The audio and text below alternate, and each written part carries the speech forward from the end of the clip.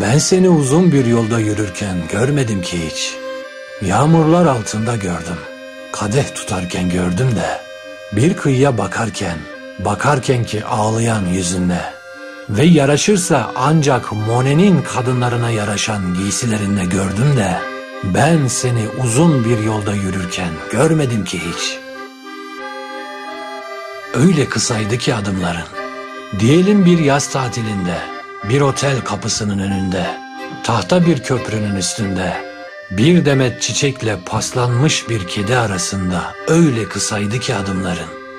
Şöyle bir bardak yıkayışının vaktiyle ölçülür ve denk düşerdi ancak. Ben seni uzun bir yolda yürürken görmedim ki hiç. Yok bir yanıtın nereye diyenlere. Bir buz titreşimi gibi sallantılı ve şaşkın ve çabuk bir merhaban vardır bir yerden gelenlere. O bir yerler ki diyelim çok uzak olsun. Sen gelmiş gibisindir oralardan. Otobüslerden, yollardan, deniz üstlerinden topladığın gülüşlerle ben seni uzun bir yolda yürürken görmedim ki hiç. Seni görünce dünyayı dolaşıyor insan sanki.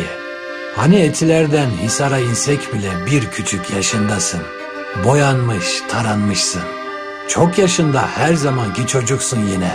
Ben seni uzun bir yolda yürürken görmedim ki hiç.